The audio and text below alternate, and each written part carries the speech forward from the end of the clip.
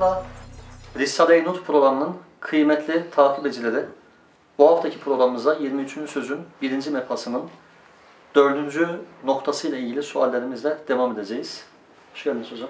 Hoş bulduk, sağ olun. Hocam geçen hafta dördüncü noktanın mevzunu, metnini okumuştuk. Bu hafta suallerimizi soracağız size. Birinci olarak, iman insanı insan eder, belki insanı sultan eder. Kısa iki cümle ama geniş manaları var. Sizden izahını isteyeceğiz hocam. Tabii, kısaca inşallah bize. Dördüncü değil mi? Evet hocam. İşte iman insan insan eder, yani hakiki insan arasına. Yani yoksa yaratılış itibariyle insan olarak yaratılmıştır bir kişi. Fakat e, iman nuruna kavuşmazsa, küfür karanlığında kalırsa o zaman e, insanlıktan çıkıyor. E ne oluyor o zaman? Ayet-i kerimede hayvandan daha aşağı olur diyor. Evet. Hayvan, onlar hayvanlar gibidirler. Hatta yolca sebila yani yolca gittikleri tuttukları yol itibariyle hayvandan da aşağı düşebiliyorlar yani. Bu ayette haber veriliyor. O halde demek ki insaniyet statüsü de iman da insaniyet oluyor diyor. Evet. İman insaniyet de belki insana Sultan eder. sultan işte malum insan arzın halifesi. Bütün hayvanat, nebatat ona hizmet ediyor. Dünyanın sırtında gezdiriyor. Güneş onun yolunu gösteriyor. İlahir. E, kainat ona hizmet ediyor. Evet. E, bu bir sultanlık ama nasıl bir sultanlık? İşte Üstad buyuruyor ya, insan kainat ağacının en son en cemiyetli meyvesi. Yani meyveye nasıl bütün ağaç hizmet ediyorsa, Evet. Kainat da bir insan hizmet ediyor. Bu cihete mecazi olarak yani meyveye ağacın sultanı diyebiliriz. Yani bütün ağaç onun hizmetinde. Evet. Yoksa bunun kendi gücüyle hizmet ettirmiş değil. İnsan sultanlığını da başka insanlara hakim olmak, cebren bazı şeyler yaptırmak, emrinde çalıştırmak gibi an- anlayamayız. Buradaki mana o değil. Bütün kainat Allah'ın lütfuyla insan hizmetine verilmiş. Bu bir sultanlıktır. Halife arz olması insanın bir sultanlıktır bu manada. Evet. İkinci olarak hocam, öyleyse insanın vazife-i asliyesi iman ve duadır cümlesini açıklar mısınız? Şimdi vazife asliye kelimesi miyim orada? Terkibi miyim? Yani asli vazifesi insanın. Ee, demek ki her insanın bir vazifesi var, görevi var bugünkü tabirle. Kimi doktor, kimi mühendis, kimi tüccar değil mi? Evet. Ama statü bunlar insan asli vazifesi değil. Yani insan toplum hayatı yaşadığı için e, her ihtiyacını tek başına görmekten uzak olduğu için iş bölümü yapılıyor değil mi insanlar arasında? Herkes bir görev üstleniyor. Herkesin kendi görevini yapmasıyla işte toplum hayatı devam ediyor. Evet. Valisinden, efendim işte işçisine kadar e, her tip meslek erbabına ihtiyaç var toplum hayatının devam etmesi için. E, bu içtimai hayatın bir gereği. Ama asli vazife bunların hiçbiri değil. Bunlar toplum, toplum hayatındaki görevlerimiz. Yani toplumda bize düşen görev. Evet. Ama asli vazifeyi öyle anlayacağız ki yani herkesin çünkü insan insan diyor. Malum hepimiz insanız. E, Bu görev herkesin görevi olması lazım. Doktorunda, mühendisinde, işçinde, çiftçinde, amirinde, memurunda. Yani hepsinin ortak bir noktası olması lazım. İşte o ortak nokta vazife asliyedir. Evet. Nedir o zaman vazife asliye? Ee, Üstad biliyor ya, insan mesela kainatın meyvesi dedik. Bütün kainat insana hizmet ediyor. Ee, bunu ya anne rahminde tavırdan tavıra geçiriliyor. Değil mi? Devreden devre. Kainatın istifade edebilecek bir mahiyet kazandırılarak dünyaya gönderiliyor. Gelir gelmez işte annesinin sütünü hazır buluyor. Havayı hemen emmeye başlıyor. Nefes alıyor.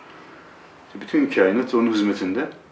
Bunun e, kendi kendine olmadığını, basit bir hadise olmadığını, bunu annesinin babasının da yapmadığını, bunun ilahi bir teskir olduğunu, kainatın ona hizmet ettirildiğini e, düşünmesi lazım insanın.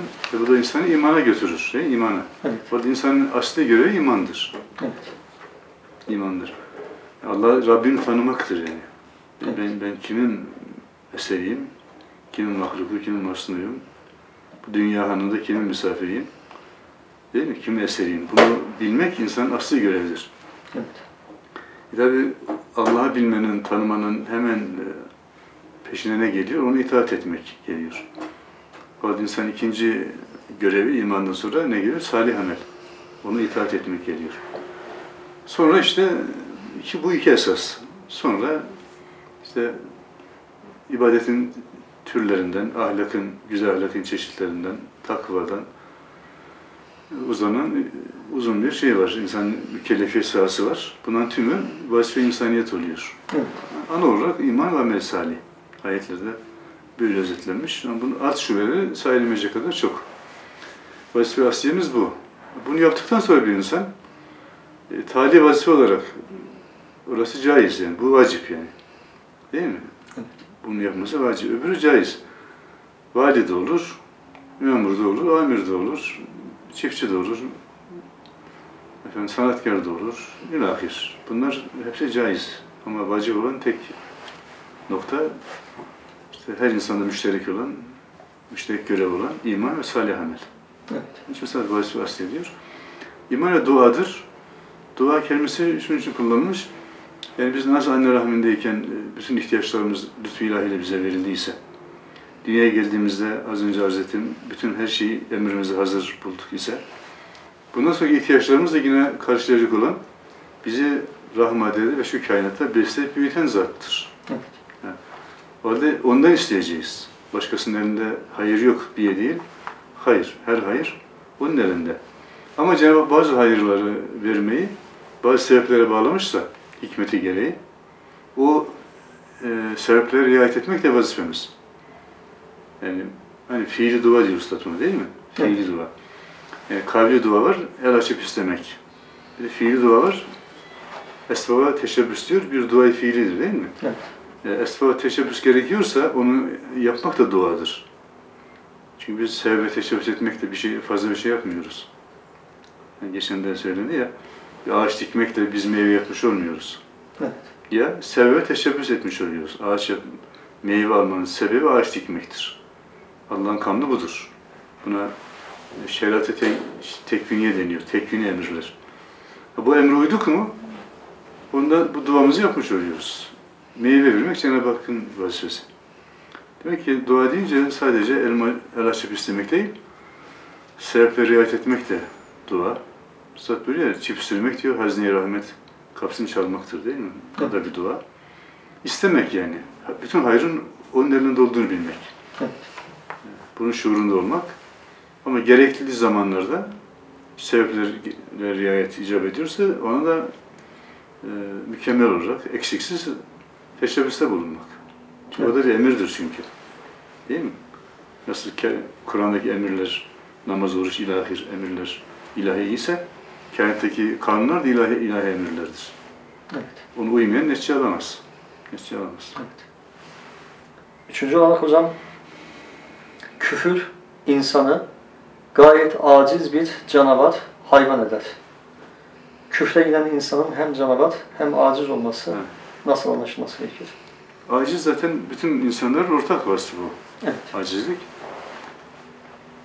Üstad buyuruyor ya, bunu en güzel ifade ediyor bir e, mesnevi zann- zannediyorum. İnsan diyor, mana bu yani, kelime fark edebilir.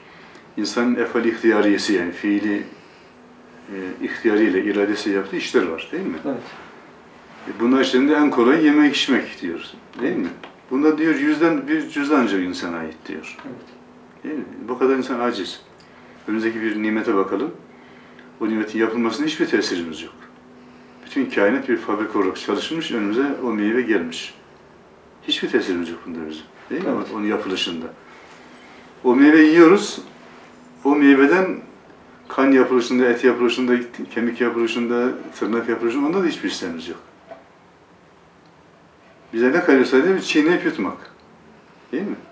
Yüzden bir cüz ancak insana aittir diyor. İnsan bu kadar aciz bir varlık. E, Her insan böyledir yani. Padişahla yadanın farkı yoktur burada. Her insan acizdir. Ee, canavarlık nereden geliyor? Zatında aciz olduğu halde Allah muhafaza ilahi hakikatlere isyan etti mi, inanmadı mı, hukukullah'a tecavüz, tecavüz etti mi, kul hakkında tecavüz ettiğimi, zalim olduğumu ilahir. O zaman e, canavarlaşıyor insan. Değil mi?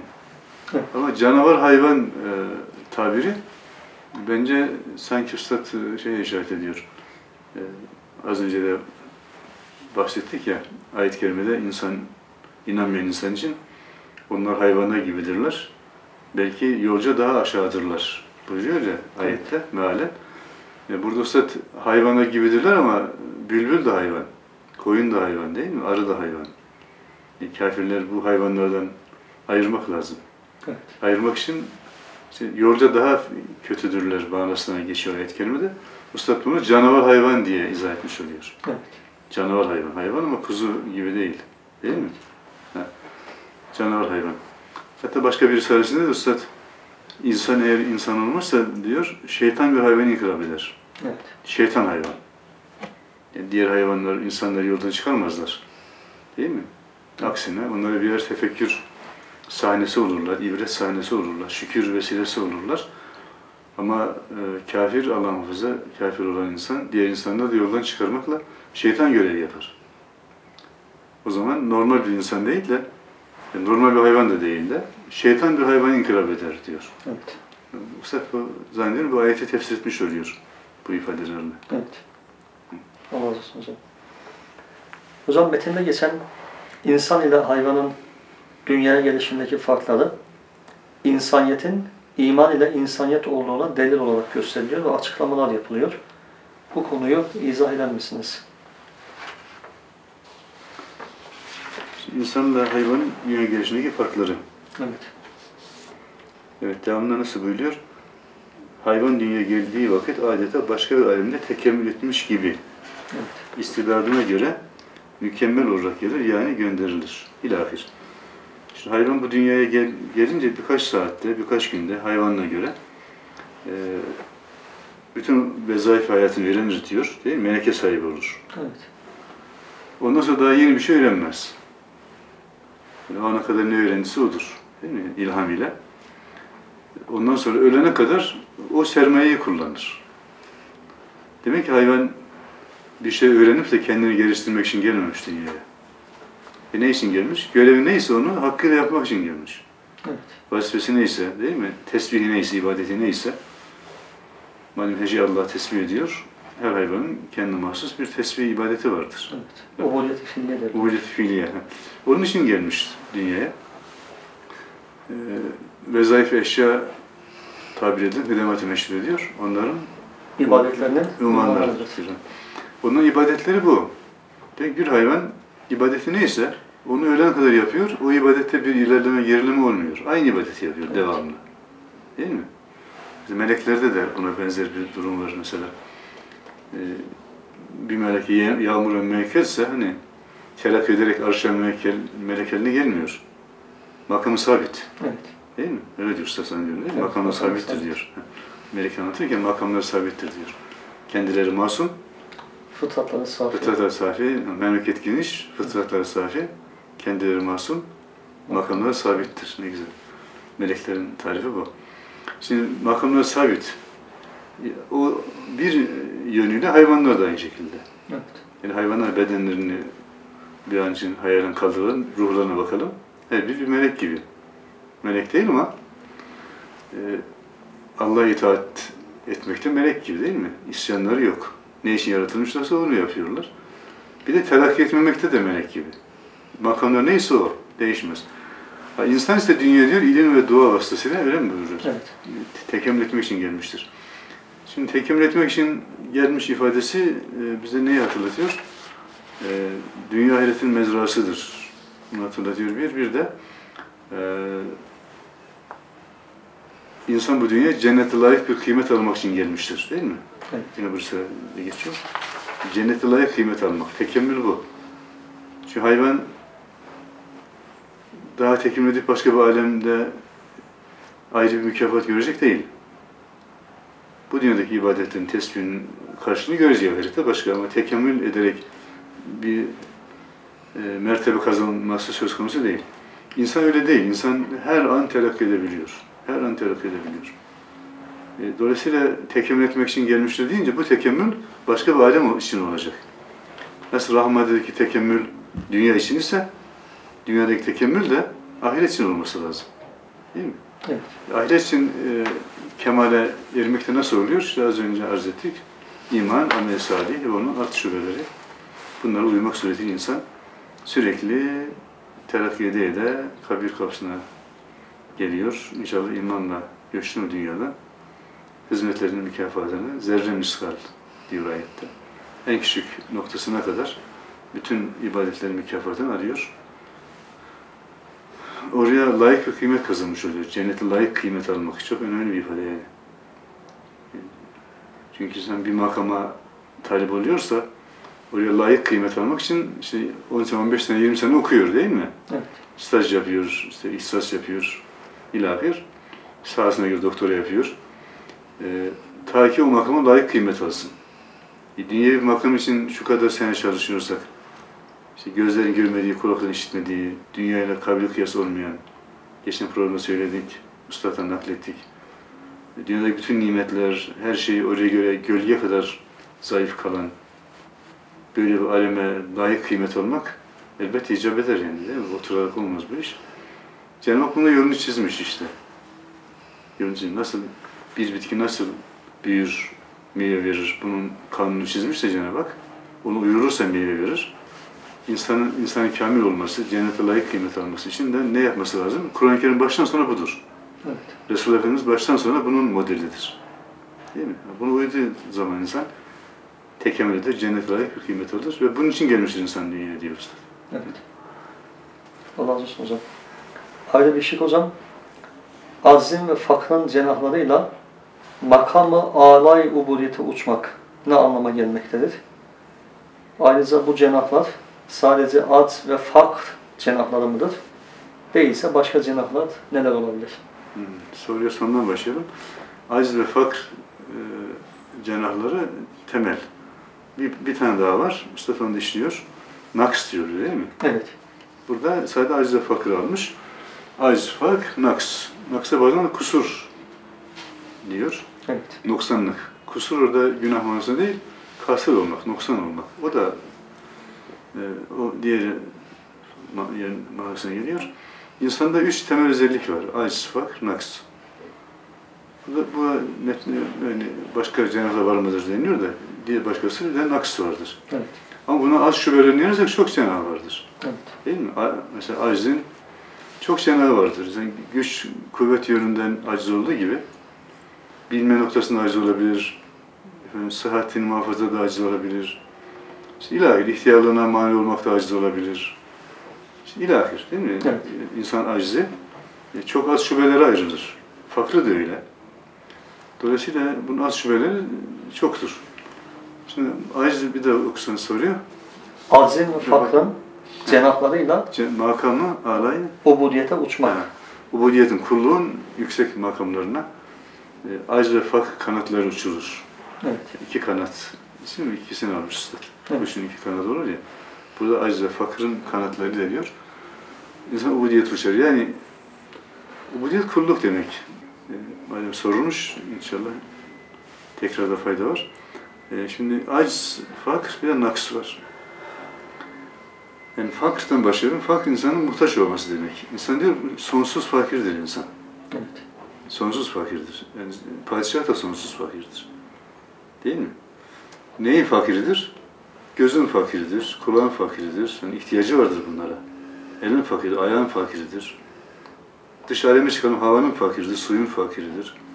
Gecenin gündüzün fakiridir, güneşin ayın fakiridir. Nihayet cennetin fakiridir. Yani hepsine ihtiyacı vardır insanın. Padişahın da, kölenin de. Farkı yok. Demek ki insanın e, fakrı sonsuz. E, Bunları hiçbirini yapamıyor kendi iradesiyle. Buna aciz deniyor. Evet. Göze ihtiyacı vardır, fakir yapamıyor, aciz. Havaya ihtiyacı vardır, fakir yapamıyor, aciz. İlahi, cennete ihtiyacı vardır, fakir yapamaz, aciz. İşte insan bunun şuurunda oldu mu, buna ubudiyet deniyor, kulluk deniyor. Kulluğun üç temel rüknü var, aciz, fakir, naks. Bunun şuurunda olmaya ubudiyet deniyor. İnsan bunu bilir ki ben sonsuz acizim, o halde sonsuz bir kudretle bu kainat dönüyor, iç organlarım çalışıyor, hücrelerim çalışıyor. Ben o kudretin sayesinde hayatımı sürdürüyorum diyor. Sonsuz fakir miyim? Bütün ihtiyaçlarım sonsuz bir rahmet tarafından görülüyor da ben dünyada hayatımı sürdürüyor, başka işleri görüyorum hani. Evet. Ee, işte ben sonsuz nakısım, bir mutlak kemal sahibi var ki ben noksanlıklarıma, noksanlıklarım da onun kemaline aynı oluyorum. İşte bunun şuurunda olmaya ubudiyet deniyor. Her zaman söyleniyor, ubudiyet devamlıdır. İbadet e, sürelidir. İnsan akşam namazı kıldım, yatsıya kadar ibadet görevi yoktur. Ama ubudiyet görevi devam eder, kulluk devam eder. Yani konuşursa doğru konuşacaktır. Evet. Ticaret yapıyorsa dürüst yapacaktır. Bakacaksa helale bakacaktır. Çünkü kuldur bu. Kul olduğu için kulluk devam eder. İbadet gibi değildir ubudiyet. İşte bunun şuurunda olup böyle yaşayan insan o zaman makam alay ubudiyet uçar. Yani kulluğun yüksek makamlarına vurucu eder, yükselir. Ee, bu yüksek makam da Fatiha'da geçiyor. İyyâken abudu değil ve İyyâken istayim.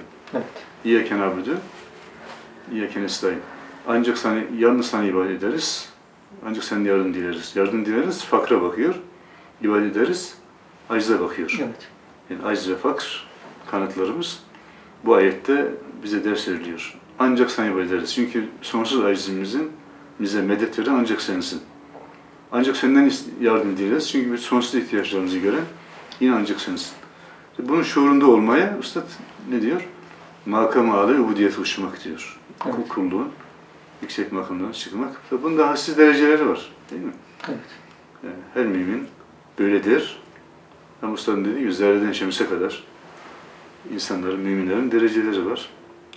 İnşallah ibadetle, tefekkürle, iman Kur'an hizmetinde daim olmakla inşallah bu noktadaki hissimiz her zaman artacak inşallah. Evet. Buna dua ediyoruz.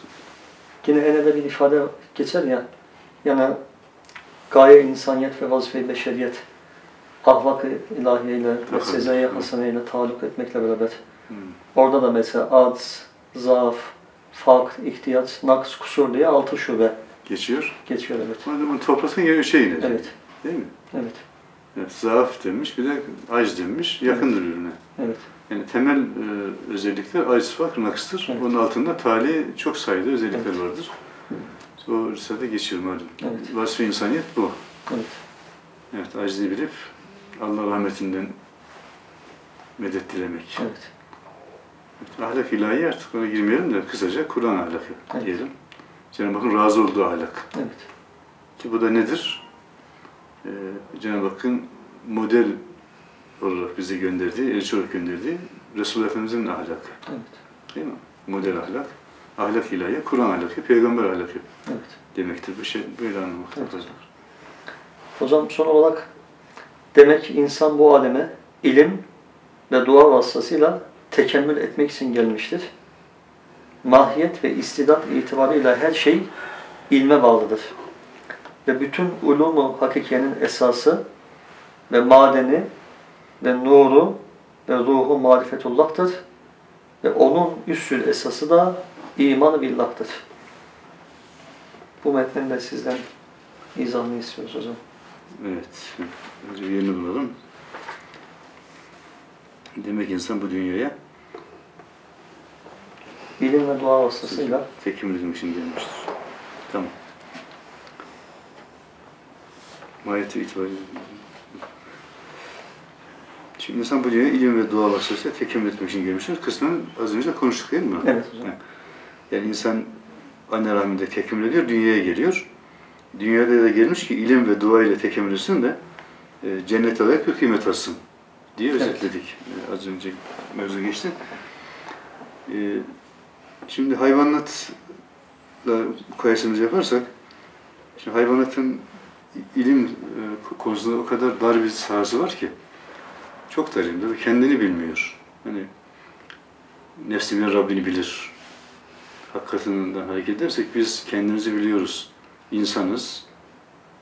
Değil mi? Bedenimizi biliyoruz, organlarımızı biliyoruz, onun görevlerini biliyoruz, ruhumuzu biliyoruz, duygularımızı, hissiyatımızı biliyoruz. Her birisi için Allah'a şükür ediyoruz, hamd ediyoruz. Her birisindeki incelikleri tefekkür ediyoruz, değil mi? Bu şekilde manen inşallah terk ediyoruz. Ama hayvan çok dar bir dairede yani. Yani bir hayvan mesela bazen söylüyoruz nefes alıyor, insan da nefes alıyor. E, hayvan bilmiyor ki ben nefes aldım ve bu nefes hava ciğerlerime gitti, kanımı temizliyor. Bilmiyor değil mi? Bilmiyorum. İnsan biliyor. Peki insan biliyor da kanı daha mı iyi temizleniyor? Yok. Yok. Peki o da bu bilginin için. Şükretmesi için. Değil mi? Evet. Yani havayı tefekkür etmesi için. Yani hayvan da yer, insan da yer. Hayvan bilmez ki yediğim bu gıda işte ete, süte, şuna inkılap ediyor. İnsan bilir ki yediğim gıda bir fabrikaya giren bir şey gibi, ham madde gibi. Bundan sayısız cihazlar yapılıyor değil mi? Organlar yapılıyor. Hepsi ayrı bir sanat. Aynı gıdadan süt yapılıyor, aynı gıdadan et yapılıyor, aynı gıdadan kan yapılıyor, aynı gıdadan saç yapılıyor. E Bunu insan niye biliyor? Ha, bu sanat inceliklerini, bu rahmet tecellilerini tefekkür etmesi, değil mi? Cenab-ı Hakk'a şükretmesi için. Yine mesela gece olur, hayvan da uyur, insan da uyur. Ama hayvan bilmez ki dünya döndü de gece geldi ve, ve bu dönme devam etti de gündüz geldi. Bunu bilmez. Işık olur, gözlerini açar, karanlık olur, gözlerini kapar. Peki insan niye bunu biliyor? Dünyayı güneş etrafında döndüren, geceyi götürüp gündüzü getiren ilahi bir kudret var. İnsan bunu biliyor, ilim. İlim bunlar yani. Evet. Ee, bunu bilince bu o insan neye götürüyor? Tefekküre, şükre, değil mi? Hayrete götürüyor. Yani acizini, fakrını daha çok hissetmeye, bilmeye götürüyor ve ubudiyete götürüyor. Az önce ifadeyle makam ağrı ubudiyete uçmaya götürüyor. İlim oraya götürüyor insanı. Evet. İnsan ilim ve dua vasıtasını tekemmül etmek için e, gelmiş dünyaya. Dua da e, Cenab-ı Hak'tan istemek. Dua istemek manasına. İnsan istemek için gelmiş değil mi? E, nasıl isteyecek? İstemenin de yolları var. E, esbabı teşebbüs etmesi gerekiyorsa onu yapıp yapmakla isteyecek. Gücü yetmediği ve esbabı teşebbüsten sonra yapacak bir şey kalmadı. Değil mi? Artık görevini yaptı. e, Elini açıp dua isteyecek değil mi? Evet. E, Cenneti isteyecek, elini açıp dua edecek. İnsan bunun için gelmiş. Cenab-ı Hak'tan istemeye gelmiştir. Gelmiş. Cenab-ı Hak da veriyor. Sual ve cevap ikisi de haktandır diyor Üstad başka bir risalesinde. Bu istemeyi bize Cenab-ı Hak öğretti. Değil mi? Ve niye öğretti? İnşallah verecek istediklerimizi. İstemeyi bilirsek yani. Değil mi? Evet. Yani istemeyi usulünce yaparsak inşallah vermek için bize istemeyi verdi yani. İnsan bunun için geldi. Cennet istemek için geldi. Daha ötede Allah'ın rızasını istemek için geldi. Daha öte rüyetine mazhar olmak için geldi. Bunları istemek için geldi insan dünyaya. Böylece tekemmül edecek. Ve mahiyet ve istat itibariyle her şey ilme bağlıdır. Yani her şeyin mahiyeti ilme bağlıdır. Mahiyet bir şeyin, mahiyet, mahiyet bir şey ne olduğuna denir. Nedir bir şey? Değil mi? Mahiyet. Evet. İstidat. Bir de onun taşıdığı kabiliyetler nelerdir? İstidat nedir? Bu ikisi de ilme ba- bağlı. Ben şöyle anlıyorum bunu. Yani kendisine de bakabiliriz bu mahiyetin istidadın. Ee, Bir önceki safhaya da gidebiliriz. Bir önceki safha ne? Ee, Eşyanın ilm ilahideki haline mahiyet deniyor. Evet. Mahiyet. Yaratılınca hakikat oluyor diyorlar. Yani mahiyet şeyin tabiriyle Muhyiddin Hazretleri'nin aynen sabite. Evet. Mahiyet o. E, Her şey nasıl ilme bağlıdır? Cenab-ı Hak bir şeyin e, planını ilminde nasıl kurmuşsa tabiri caizse değil mi? Nasıl tayin etmişse kader diyoruz buna. Eşyayı öyle yaratıyor. O, o yaratan bir şeye baktık mı? Şu elim niye beş parmaklı? Ha, ilm ilahide böyle planlamış onun için beş parmaklı değil mi? Evet. Şu ev niye üç, üç odalı bir salonlu? Planı öyle de onun için. Değil mi? Evet. Yani Plana göre ev yapılmış. O da her şey kadere göre yaratılıyor. Kader, ilmi ilahi, kudret ilahiye ile kazı ediliyor ilmi ilahideki planlar. O da mahiyeti itibariyle, istat itibariyle her şey ilme bağlıdır. Böyle anlayabiliriz yani. Cenab-ı Hak bir şeye ne istat vermişse, değil mi, ne mahiyet vermişse ilminde, o o şekilde dünyaya geliyor ve onu, o sermayesini şey yapıyor. İstimal ederek dünyada hayatını sürdürüyor ya, ya terakki ediyor. E bütün ulum hakikiyenin esası ve madeni ve nuru marifetullah'tır. Ulum hakikiye tabiri geçti. E, hakiki ilim demek, hakiki olmayan ilimler de var. Hakkı olmayan ilim nedir? İnsan hakikate götürmeyen ilimdir. Hakiki değildir yani. Ee, insanı Rabbine ulaştıran, değil mi? Onun rızasına ulaştıran, cennetine ulaştıran ilimler hakiki ilimdir. Evet. Ve dünyadan menfaatlanmasını sağlayan, ölümle son bulan, artık hiçbir faydası olmayan ölüm ötesinde. İlimler hakiki, hakiki değildir, muhakkattır, değil mi? Üstadınız buna çok güzel bir örneği var. 12. söz biliyorsunuz. Orada mesela bir Müslüman alime, bir de ecnebi filozofa padişah bir Kur'an-ı Kerim değil mi veriyor? Tefsir yapın buna diyor. Evet. Ecnebi filozof onun Kur'an olduğunu bilmiyor. Harflerin akışlarına bakıyor, özelliklerine bakıyor. Onlar hakkında bir yaz, kitap yazıyor. Bu, bu hak ilim değildir. Değil mi? Evet. Müslüman alim ise onun Allah'ın kelamı olduğunu biliyor. Tefsir yazıyor. Ama e, ondaki istimal edilen altının, gümüşün, işte diğer cevherlerin özellikleri hakkında da tabiri caizse haşiyeler düşebiliyor. İcmalen. İcmalen. Yani. Esas ilim çünkü orada maksat tefsir yazmaktır. Şimdi şu kainatten maksat Cenab-ı Hakk'ın esmasını, sıfatını, değil mi, şuunatını bu alemde okumak, tefekkür etmektir. Bunun için alem kitabı yazılmıştır. Bunu okuyamayan bir insan bu alemdeki faydalarını sadece düşünse, nasıl fayda görür, nasıl menfaatlenir bu dünyadan, hiç Rabbini, Halık'ını düşünmeden eşyaya nazar etse, onlardan fayda görse, ve o faydayla yaşasa, öyle ölse bu adam hakiki ilme vasıl olamamıştır değil mi? Evet. Hatta Üstad onlara ne tabir kullanıyor? Biner e, fünunu bilse de diyor, cehli mürekkepten diyor, bir eçeldir diyor. Ha. Evet. Yani demek ki inanmayan bir bilim adamının eşya hakkındaki bilgileri il, hakiki ilim olmuyor. Evet. Hakiki ilim olmuyor. Bu hakiki kelimesi öyle bakıyor. Bütün ilim hakkiyenin esası, ilim hakkiye arz ettiğimiz gibi insan hakikate ulaştıran, Rabbine ulaştıran, kainatı doğru okutan, eşeğe doğru okutan, insanı doğru değerlendirmeye vesile olan ilimdir hakiki ilim. Evet. Ve bu ilimler de neye dayanıyor? E, madeni ve nur ve ruhu marifetullah'tır. Allah'ı tanımak. Allah'ı tanınacak ki e, onun e, e, yarattığı eşya hakkındaki e, araştırmalar da hakiki ilim olsun. Evet. Değil mi? Hoca dayanacak yani. Ve onun üstü esası iman billah'tır. Marifetin de esası iman billah yani. Hani Fatiha'da bunun e, özeti verilmiş, Kur'an'da açılmış zaten. Şimdi elhamdülillah diyoruz değil mi? Elhamdülillah. Ne kadar metü sena varsa Allah'a mahsustur diyoruz. Kur'an'da böyle geçiyor. Peki Allah kimdir? Bu iman. Ben iman ettim ki Allah vardır ve bütün e, metü senalar ancak ona mahsustur. Her şeyin haliki, maliki, sahibi ancak odur. İlahir. Buna inandın mı? Peki Allah kimdir? Değil mi? Yani işte hemen geliyor devamlı. Rabbül Alemin. İşte bu marifetullah'tır işte. Allah tanıma. Değil mi? Bütün alemleri terbiye edendir. Daha Rahman'dır. Bu da marifettir. Allah tanımıdır. Rahm, rahmet sahibi olarak tanımaktır. Rahim'dir. Bu da tanımaktır. Malik Emiddin. Bu da tanımadır. Din gününün sahibidir. Bu özettir. Kur'an-ı Kerim'deki Cenab-ı Hakk'ın sıfatlarına, esmasına, e, efaline dair ne kadar ayet varsa buranın açılımıdır. Evet. E, Marifetullah sahasında e, burası özettir.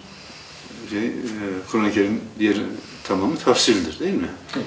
Bir marifetullah Allah, Allah tanıma demek yani. E, bu da tabii iman edilecek sonra tanınacak. Demek, önce iman billah geliyor demek ki. Allah'a iman etmek, sonra onu tanımak. Bakın mesela Allah tanıma, marifetullah e, Cenab-ı Hakk'ı onun bildirdiği gibi bilmekle oluyor. Hristiyanlar Cenab-ı Hakk'ı tanımış olmuyorlar yani.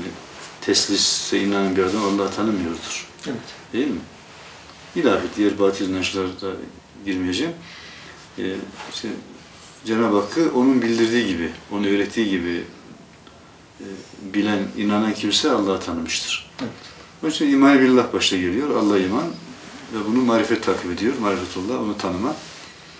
Onu bilen ve tanıyan insan, kainat onun eseri mahluk olarak tanır. Kainat kitabını onun e, yazdığını, kudret kalemi yazdığını, ilmi hikmetiyle donattığını bilir. O zaman kainat hakkındaki bütün bilgileri hakiki ilim olur. Evet. Hakiki ilim olur. Evet. Ağzınıza sağlık hocam. Programımızın sonuna geldik. Sorularla Risale-i Nur programının kıymetli takip edicileri bu haftaki programımızın sonuna geldik. Gelecek hafta görüşmek üzere. Allah'a emanet olun. Hayırlı günler.